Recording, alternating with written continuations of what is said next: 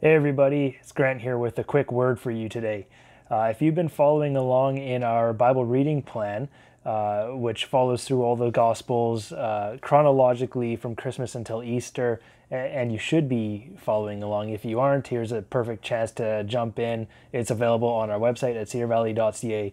Anyways, today we landed on uh, John chapter 18. And really, this passage is following Jesus right after he's been arrested and now being taken by soldiers into uh, into captivity for questioning and prosecuting.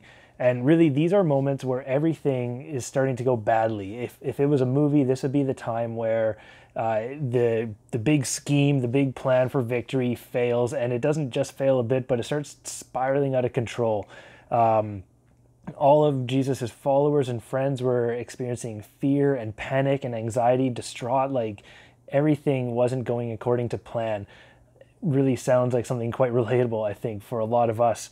And uh, in all this, Peter, a close follower and friend of Jesus, uh, in gets caught up in all of this fear. And this is a guy who said he would never abandon Jesus, never leave his side. And being caught up in all of this fear ends up denying and actually telling people that he doesn't even know Jesus. Like he's not part of that group whatsoever.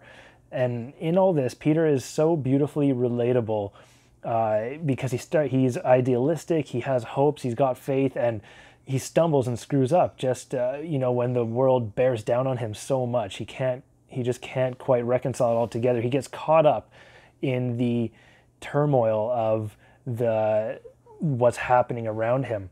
And and Jesus too, here's a bit of a spoiler, but Jesus too is so beautifully patient in that he he forgives Peter, he brings Peter back in and he understood that Peter was emotionally caught up in the panic. He knew what was going to happen. So really we're in a time where we've lost a lot of the stuff that we would normally fill our time with. And in theory, we should have all this free time, but I bet you a lot of you, like me, have found yourselves being busier.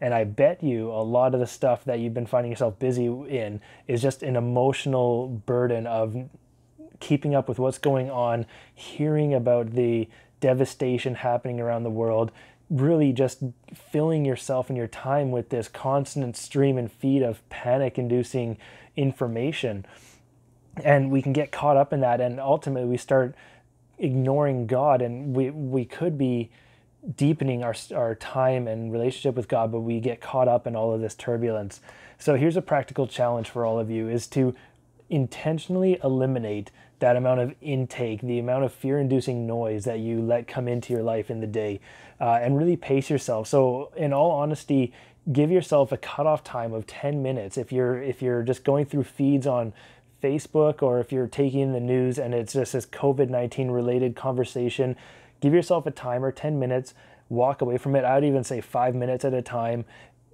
Take the what you would be spending time just soaking in more of that information, pray, start focusing on being on Thanksgiving. And, uh, you know, it, it'll be a thing that we do still need to stay informed and on top of stuff. And you're going to be watching this on social media too. So it's not all bad, but give yourself real time restrictions to not let yourself get caught up in that moment that's happening for so much of us right now. And i know i'm experiencing the same thing. So i hope that's helpful. I hope that uh, you guys can enjoy the rest of your day and uh, god bless